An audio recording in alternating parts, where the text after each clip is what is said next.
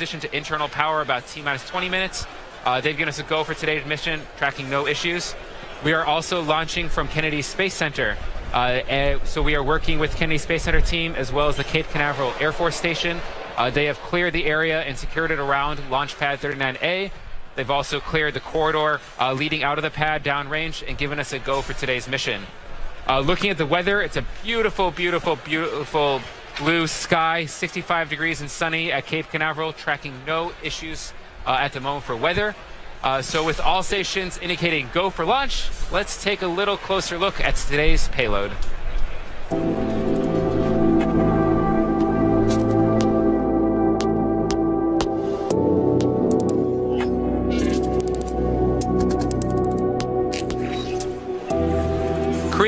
5A is a communications satellite operated by KT-SAT. It's Korea, South Korea's sole satellite service provider. The satellite was manufactured by Thales Alenia Space and located at 113 degrees east longitude. KoreaSat 5A will provide direct-to-home broadcast, broadband, and backhaul services with its KU band capacity. KoreaSat 5A provides KT-SAT with 12 KU band transponders of 36 megahertz and 24 KU band transponders of 54 megahertz. Now, as a replacement for KoreaSat 5, KoreaSat 5A will expand upon its coverage across Asia and the Middle East. And unlike other satellites in the KoreaSat fleet, KoreaSat 5A will provide maritime coverage of the Persian Gulf, Indian Ocean, South China Sea, and East China Sea. KoreaSat 5A is also equipped with four extended KU band steerable transponders of 54 megahertz each. These steerable transponders will provide commercial direct-to-home broadcasting services in the North Asia region by the end of this year. The KoreaSat 5A satellite arrived at SpaceX facilities in early October and has been undergoing preparations for its launch today. It weighs about 3,700 kilograms at launch and offers payload power of approximately 6.5 kilowatts. You're seeing that satellite getting loaded into the shipping fixture on the screen right now. That was brought into an airplane, shipped to Cape Canaveral, and arrived at the space facilities just in that transport crate you see right there. Now, Thales Alenia Space is the prime contractor for KoreaSat 5A in charge of its design, production, and testing, as well as the ground delivery. The company is also responsible for its launch campaign, the launch and early operations phase and in-orbit testing of KoreaSat 5A. Now today we are taking KoreaSat 5A to a geostationary transfer orbit. Uh, and on your screen, we have a quick animation. You can see uh, the launch with first stage landing. That second stage has its first burn. After that burn, we have a uh, fairing separation during it. We will coast for about 20 minutes. Then we're going to have a second stage, second burn. Uh, about T plus 35 minutes and 30 seconds, we're going to have our payload deploy. Then KoreaSat 5A will use own onboard thrusters, put it in a final geostationary uh, orbit at about 36,000 kilometers away from Earth. Uh, you can see it's matching Earth's rotation. Uh, that's how it uh, actually covers a singular spot of Earth's sky, and in this region instance, uh, that 113 degrees east latitude longitude position. So we're about T minus four minutes and uh, 20 seconds in today's mission. Uh, as of right now, we're finishing up that LOX load on the first stage. Uh, no issues to report right now. Uh, the forward arms of the strong back have begun opening up. Uh, everything there is looking good to report. Uh, it will fully recline at liftoff. At T minus seven minutes, we began the engine chill process of our first stages. Uh, that's where we actually are flowing in that liquid oxygen into the first stage engines. That kind of chills down all of the uh, all of the the metal components of the Merlin engines, uh, and so that way they don't actually flash into gaseous oxygen at liftoff. Uh, it protects the engines and gets it ready uh, for the actual ignition point. Coming up at the T minus one minute mark, Falcon 9 is going to enter into startup. Uh, that's actually the moment where our ground computers are going to hand over the countdown process to Falcon 9. The onboard flight computer of Falcon 9 will take over the countdown at that point. It'll do its final uh, checkouts of all the sensors, uh, which will lead us up into liftoff at T minus zero mark.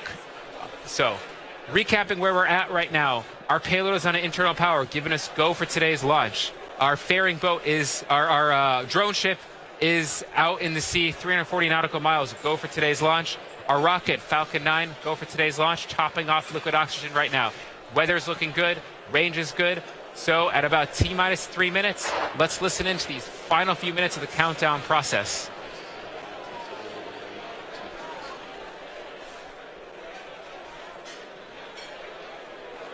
Stage one, stage one LOX is uh, closed out for flight.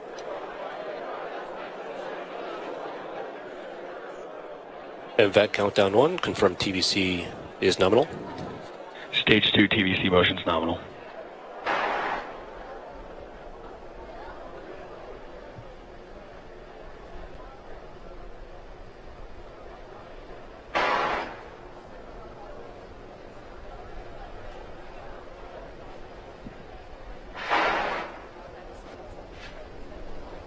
Stillings will get, get the, give the launch countdown. Yeah. Stage two LOX is closed out for flight.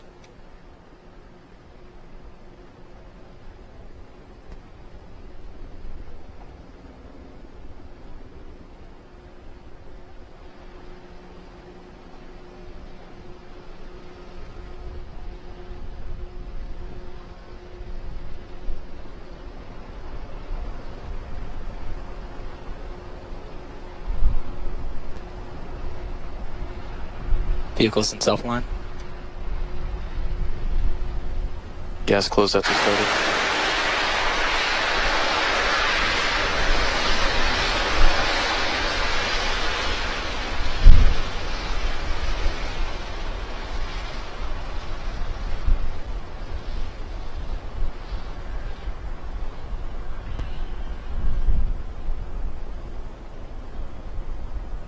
AFTS is ready for launch.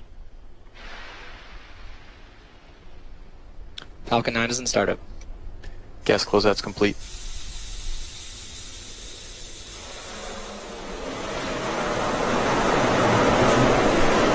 Stage two pressing for flight.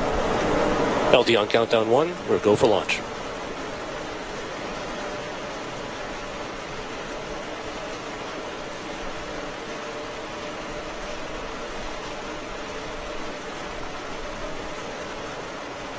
T minus 30 seconds.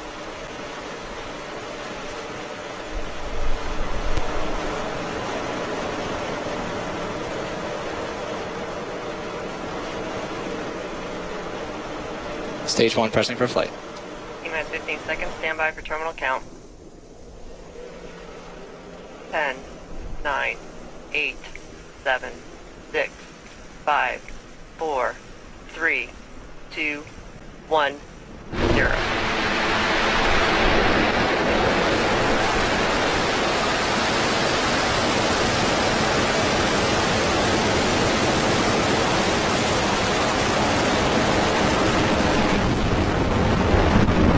Vehicle switching downrange.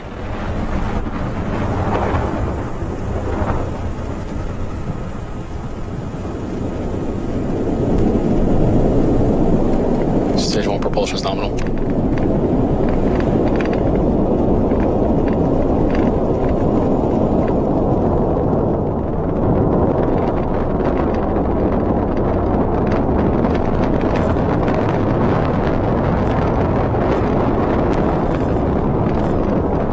Power telemetry nominal. T plus 50 seconds in today's mission. We are on our way to delivering KoreaSat 5A to a geostationary transfer orbit. Watching the nine Merlin engines of the Falcon 9 first stage, Falcon 9 is capable of putting out over 1.7 million pounds of thrust. About five seconds ago, we transitioned uh, to the supersonic regime. Coming up in about a second, we're going to hit max Q. maximum dynamic pressure. We actually just passed through max Q. That's one of the highest stress states on the vehicle.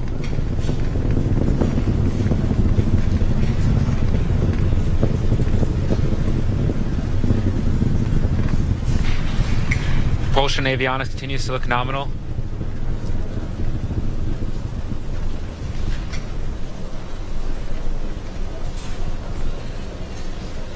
MVAC engine chill has begun. You heard the call out. The Merlin vacuum engine of our second stage has begun chilling in. Same process as the first stage, where we start to flow that liquid oxygen through that second stage engine.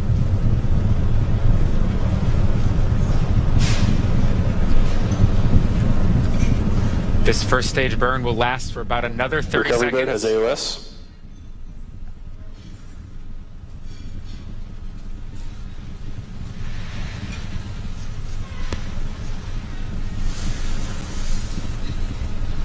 In about 10 seconds, we'll have main engine cutoff. All nine Merlin engines at that first stage will shut down. About three seconds after that, we will see stage separation, where the first and second stages will be separated by four pneumatic actuators, and then we will have the ignition of our second stage engine. Let's watch. We have MECO. Stage separation confirmed.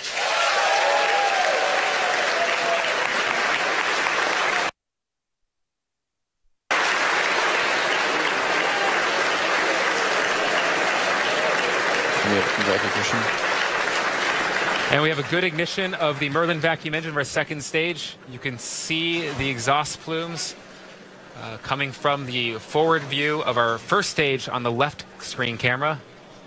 Uh, our grid fins have also deployed, as you can see there. We use those grid fins to guide ourselves back through Earth's atmosphere to our drone ship, Of Course I Still Love You. In about 15 seconds, we'll have separation of the fairing from our second stage.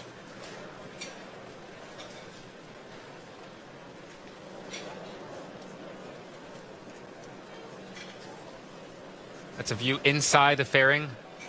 KoreaSat 5A on the right side. Back And we have separation of the fairing. It's a good separation. Second stage is following a nominal trajectory. And we have a call out that second stage is following a nominal trajectory right now. Everything looking good.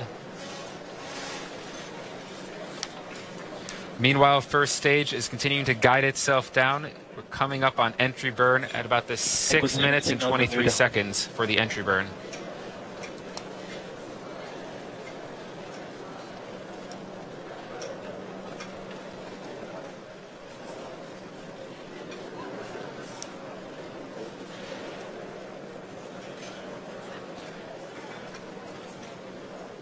Now, in addition to using those grid fins for guiding ourselves back to the ship, we do have uh, cold nitrogen thrusters. Uh, that's those white puffs of smoke you see coming on the screen uh, on the first stage image.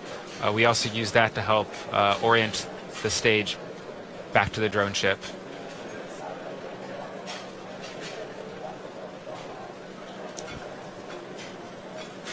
Our second stage burn is going to last till about T plus 8 minutes and 30 seconds. Then that second stage engine will shut down. We'll be coasting for about 20 minutes. Uh, and then we will have our second burn to put KoreaSat 5A into the final geostationary transfer orbit.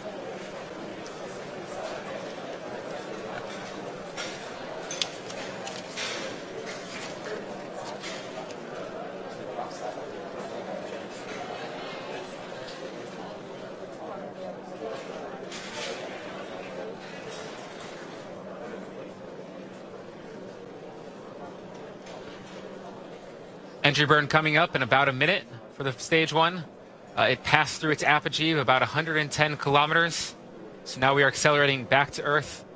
We use that entry burn to negate a lot of the, the vertical velocity that the rocket is built up uh, and help slow down the, the entry speeds. So a more gentler touchdown.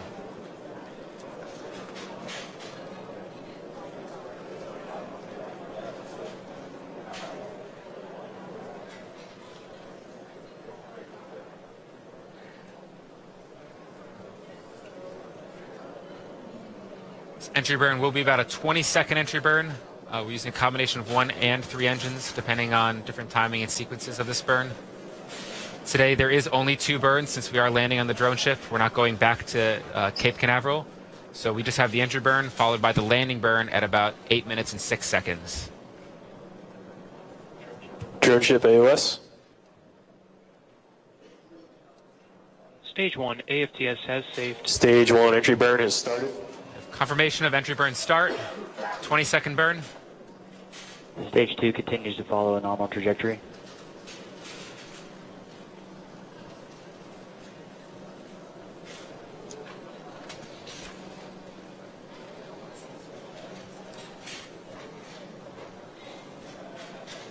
Stage one entry burn is shut down. And we have shutdown of the entry burn.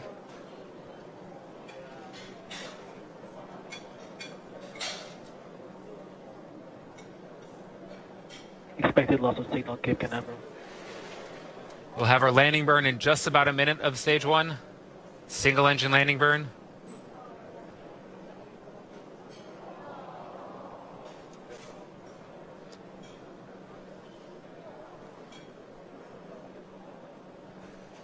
We may lose signal as you saw there briefly with stage one. Uh, we are getting the feed from a satellite in the drone ship. Uh, with that tropical storm moving uh, through the area, there were some choppier seas, which makes our satellite link a little bit uh, more challenging.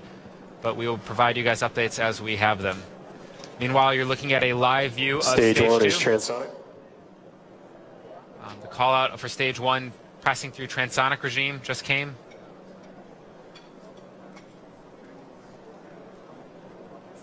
Trajectory continues to look good for this second burn, or first burn of the second stage, which will have cutoff at about 8 minutes and 30 seconds.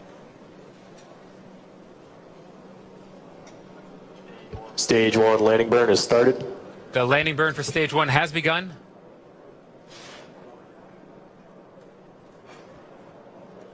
A 30 second landing burn. Stage 2, AFTSA. It's a live view from, of course, I Still Love You, our drone ship out in the Atlantic Ocean. And we have Seco. We do have confirmation while we're waiting for uh, an image from the drone ship that we did have our second stage engine cutoff.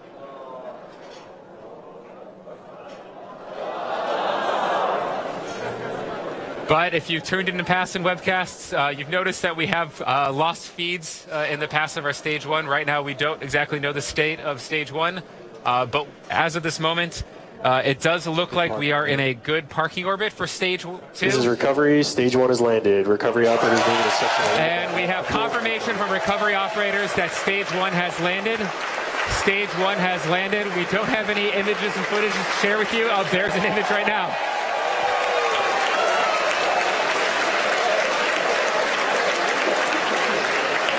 A little toasty, but his stage one is uh, certainly still intact on the drone ship.